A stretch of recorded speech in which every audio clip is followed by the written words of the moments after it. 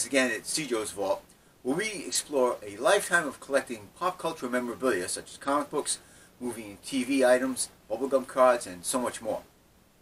This time around, we're going to be checking out my collection of Lon Chaney Sr. photoplay editions. Chaney, of course, being the grandfather of the American horror movie and the originator of a lot of effects makeup that Hollywood used decades after his passing. Now, photoplay editions are books that come out at the same time as the movie, and usually on the dust jackets will have either a photo or a painting from the film. The interior often also has some black and white stills. So the very first Lon Chaney photoplay edition was The Miracle Man, released by Paramount Pictures on August 29th of 1919. Chaney plays a character called the Frog, a contortionist who teams up with two other seedy characters to fleece some locals. The success of the film gave a boost to the careers of not only Chaney himself, but also co-stars Thomas Meighan and Betty Compson. Sadly, the film is lost to us, like so many other silent films, save for two short scenes that were used in Movie Memories, a short newsreel from the 1930s. Grosset and Dunlap, the pioneers of American photoplay editions, published The Miracle Man's release with the printing of the book featured on this dust jacket a full bleed color photo of Dowling as the patriarch and Betty Compson as her role as Rose.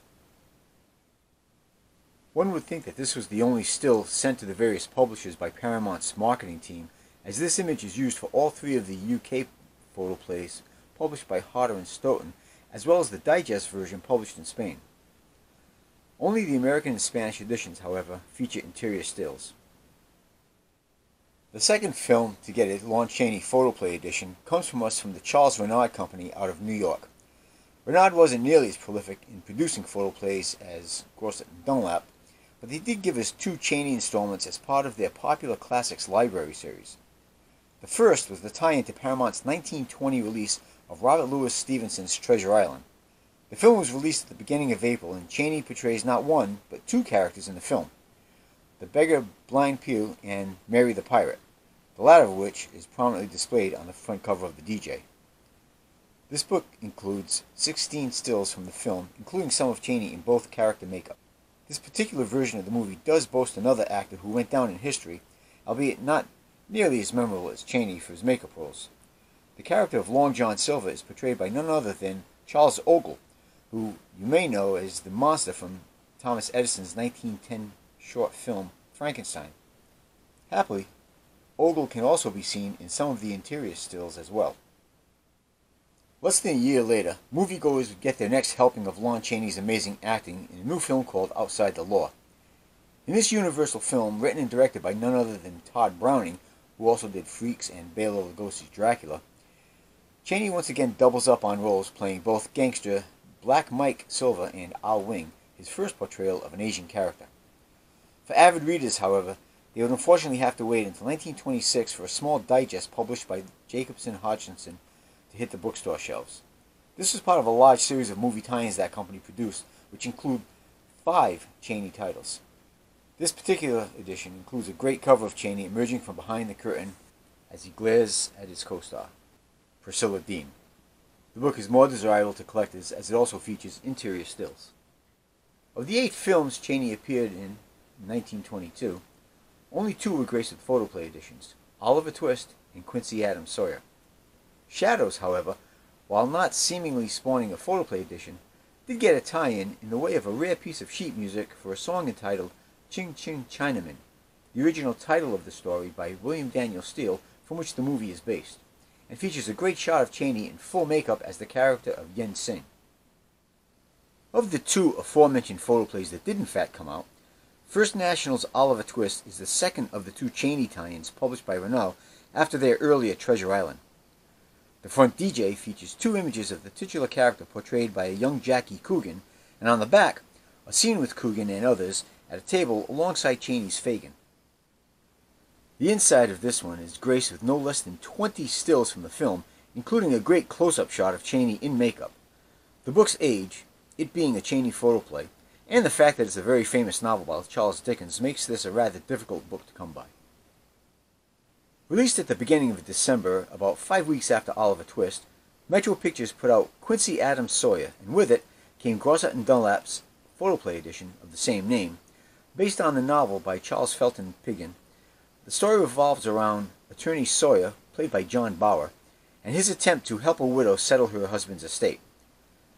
Chaney plays shifty lawyer Obadiah Stroud, who is suspected of withholding some of the widow's bonds. Trouble develops as the widow becomes romantically interested in Sawyer, but Sawyer and Chaney's Stroud are both interested in the widow's blind daughter. These love triangles were a staple in films of the time period, and there is no exception. The cast also includes Blanche Sweet, Barbara La Marr, and silver screen's first Tarzan, Elmo Lincoln, as Abner Stiles, the local blacksmith, who actually appears on the cover of the DJ in a street scene, and he was about to punch Bauer's Sawyer. There are several interior stills, including a couple of great shots of the man of a thousand faces. One of Lon Chaney Sr.'s most famous characters he ever played, of course, was Quasimodo in Victor Hugo's The Hunchback of Notre Dame, uh, brought to us in photoplay edition, at least here in the States, by the A.L. Burt Company. One of the more common ones, but still really nice to have anyway. Meanwhile, on the other side of the Atlantic Ocean, the Reader's Library Publishing Company released a tie-in to the film, albeit a weak one. Initially, the DJ featured artwork of the deformed bell ringer, which looks nothing like Chaney. There is a blurb on the front cover which states Film Edition, with the ninth printing of the book. The publisher changed the artwork slightly, and Universal Studios is now mentioned on the front. A much more difficult to find variant comes from the UK publisher J.M. Dent & Sons, which is slightly larger than the Reader's Library edition and sports a black and white photo of the Notre Dame Cathedral on the front with a Universal Pictures credit. The spine has an image of Quasimodo hanging from a bell, which could be argued looks like Chaney.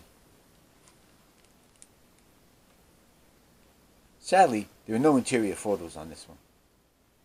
There is an oddity from Spain, which you see here, which, if not for the discernible eye, would go all but unnoticed. A very small book which had a nice photo of Chaney from the trap on the cover. The interior, however, features a synopsis of the film and some stills. The rarest photoplay from the title, actually probably one of the ten rarest photoplays of all, is this edition put out by George D. Schwartz and Company. This extremely hard to find book has a great full color scene from the film on the front of the DJ and four interior stills. What makes this particular edition unique, besides its rarity, is that it is not, in fact, Victor Hugo's novel, but instead a novelization of the film's actual screenplay. In November of the following year, MGM finally released the very first film they actually produced.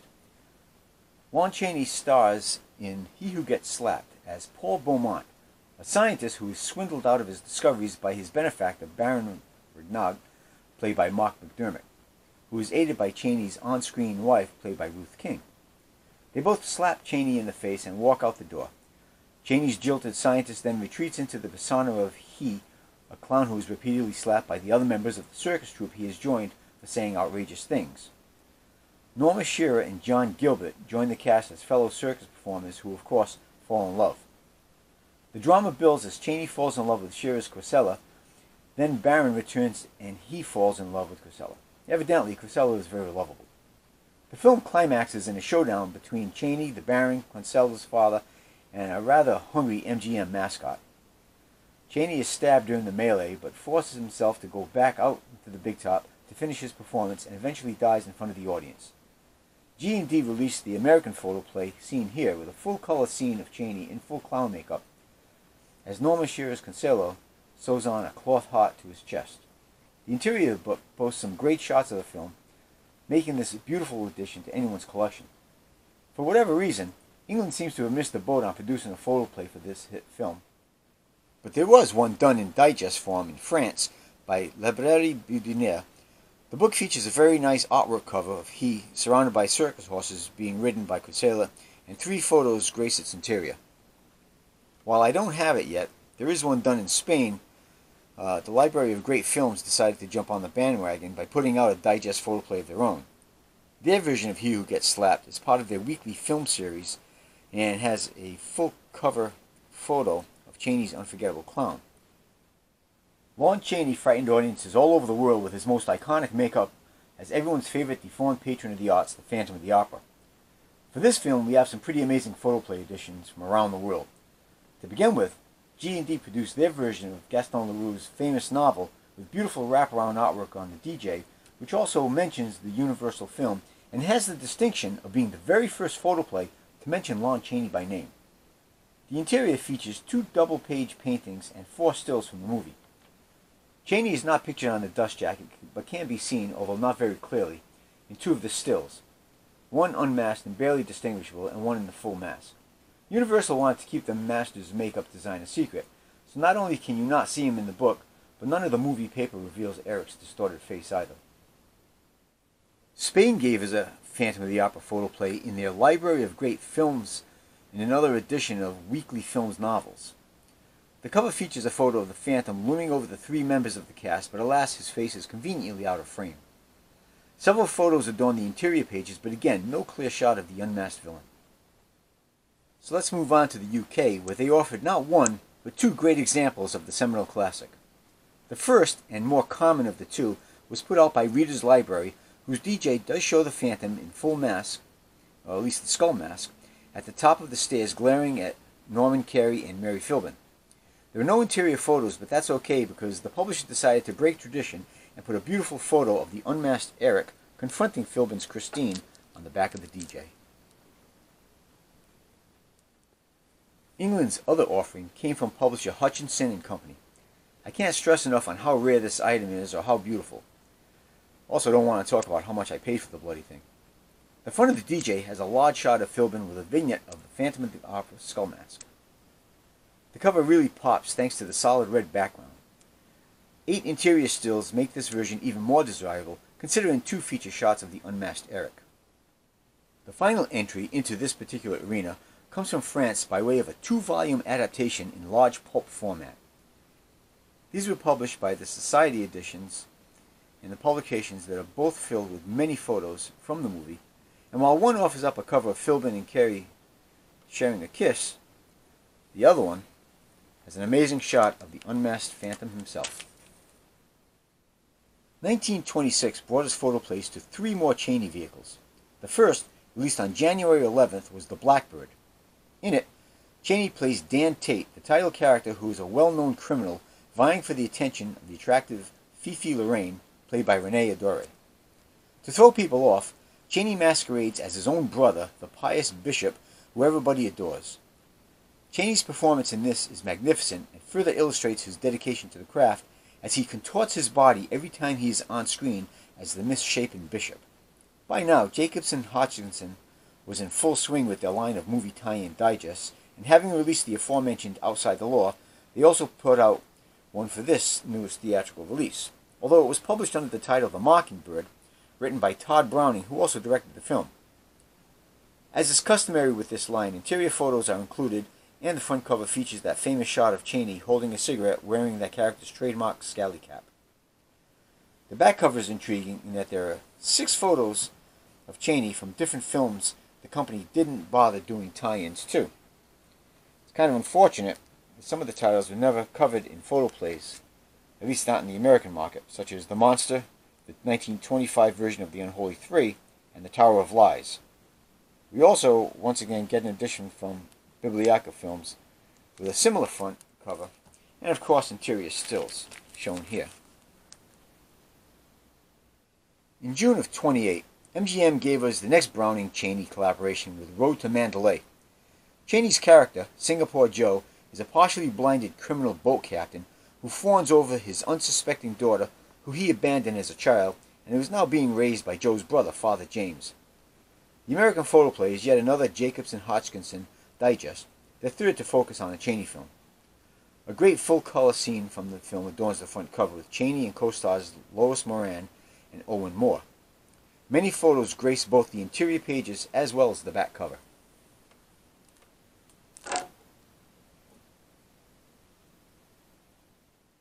There is also an extremely rare piece from the land down under. The Amalgamated Publishing Company had a series of small booklets under the title Movie Stories Published Weekly. Oddly, the cover doesn't mention Chaney, but instead credits Lois Moran and Owen Moore with an illustration of the two from the film. This 45 page Australian rarity does include a page of credits and photos inside. Tell it to the Marines is not only first half of the 19th century idiom, tell it to the Marines because the sailors won't believe you, which refers to a person speaking was probably lying, but it is also the title of our next entry, which just happens to be Chaney's biggest box office smash, making over a million and a half dollars at the box office. Jacobson Hodgkinson was clearly on a roll here as they produced the tie-in to this film as well. As can be expected, Chaney graces the cover as the unforgettable Sergeant O'Hara, and the book is complete with stills within as well as the back cover. As big as this film was, it's surprising that nobody else published any kind of photoplay edition in conjunction with its release. Another triple shot of photoplays were released in 1927, albeit from different countries. On March 26th, MGM released Mr. Wu, which once again teamed Chaney up with the Blackbird co-star Rene Adrei. The film, based on the 1913 play by Henry Maurice Vernon and Harold Owen, gives us a revenge story where Chaney portrays two generational characters, grandfather and grandson. Louise Dresser, Holmes Herbert, Ralph Forbes, Gertrude Olmsted, and Anna May Wong round out the great cast. The A.L. Burt Company steps up to the plate and hits it out of the park with their edition featuring a credited Chaney in full Asian makeup from one of the film scenes and of course some great interior stills. Perhaps American publishers felt the plot of The Unknown was a bit too garish for their readers, so they left it up to the British peers to take on the task of releasing the photoplay. The London Book Company wasn't so squeamish. They were perfectly fine publishing a story about a criminal, Chaney, born with a double thumb on one hand who infiltrates a circus by strapping his arms to his torso and hiding under the facade of an armless performer who does things like shoot guns with his feet. He falls for a female performer who has an aversion to men with arms. No, I didn't make this up. This is actually the plot. The circus strongman also has feelings for the girl, and thus the obligatory love triangle ensues. Chaney's Alonzo the Armless decides to have his arms amputated, fearing his beloved will discover his ruse, but to his dismay, the arm-fearing female, played by newcomer Joan Crawford of all people, falls for the guy with the biggest arms around. Wow. At any rate, the photo plate does feature a great front painting of Chaney and Crawford, while the back features a second painting of our star. Interior photos and the fact that there was nothing done here in the States make this one very desirable to collectors. London After Midnight is arguably one of the most famous lost films of the silent era. Chaney creates another iconic makeup as his alleged vampire in the story while also playing the role of Professor Edward Burke. As we may never see the film, we do have two photoplays from which we can draw from of what the movie may have been like. The American edition, published by the Stalwarts G&D, features an amazing image of Chaney in full vampire makeup, holding a lantern while two women look on in horror. Lon Chaney is appropriately credited as the star of the newest MGM vehicle, while several interior stills give us a small glimpse of this lost piece of cinematic history. The British version is a bit less attractive with stylistic wraparound artwork on the DJ, but does mention the studio and Chaney by name. Interior photos redeemed the non-movie cover art, but the scarcity of this particular edition still holds it in high demand. Tripling its budget at the box office wasn't enough apparently for a photoplay edition of Laugh Clown Laugh from either American or England, but Spain did release one by the way of their Biblioteca Films line. A great photo cover from the film, interior photos are there, and again, whenever there is no American version, these foreign numbers become very sought after. Sadly, the only thing released here in the States from this film about a clown involved in a love triangle, hmm, that sounds familiar, is the very common piece of sheet music to the title song, which was actually a very big hit. Where East is East is the last silent film of Chaney's that we get any kind of photoplay from, as there are none done from Thunder. Jacobson Hodgkinson who now simply known as Jacobson, gives us their last and scarcest Chaney tie-in, which features a great cover image from the Tod Browning film along with interior stills. There's also this French digest which gives us another great cover image as well. Our final entry into this crazy rule of photoplays came in 1930, which brought us an ailing Lon Chaney, who was offered to do a sound film which would help usher in a new whole era of Hollywood. Chaney chose to remake The Unholy Three, from five years earlier, reprising his dual roles as ventriloquist Mr. Echo and Mrs. O'Grady. We finally get to hear the master's thespian speak, but it was too little too late, as he would soon succumb to throat cancer. A.L. Burt fortunately kicked in a printing of the 1917 novel as a photoplay edition with a great photo of the three titular villains on the cover.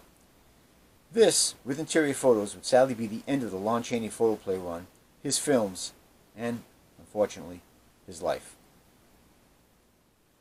Well, I hope you enjoyed this episode of Joe's Vault and had a good time checking out my collection of Lon Chaney Sr. photoplay editions.